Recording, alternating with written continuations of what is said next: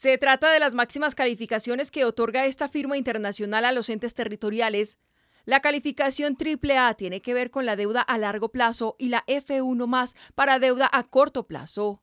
Esto además representa, según el gobernador de Antioquia, Aníbal Gaviria Correa, un espaldarazo para las finanzas regionales puesto que para entregar dicho resultado fueron analizados tanto la situación actual como las perspectivas a futuro en temas de contención de COVID-19 y la reactivación económica. Quiero compartir con todos los antioqueños y antioqueñas este espaldarazo al departamento porque tiene dos inmensos significados para ellos. Uno, el hecho de que las contribuciones que hacen al departamento y esa cultura de pago eh, son mm, importantes, pero además reconocidas internacionalmente.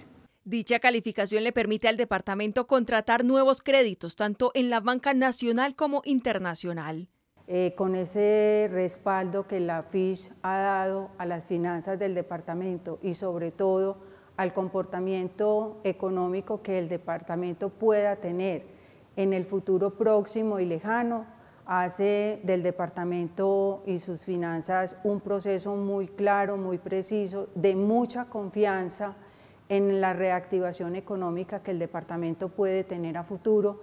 Este resultado, según la administración departamental, también se logra gracias a la cultura de pago que han adoptado los contribuyentes.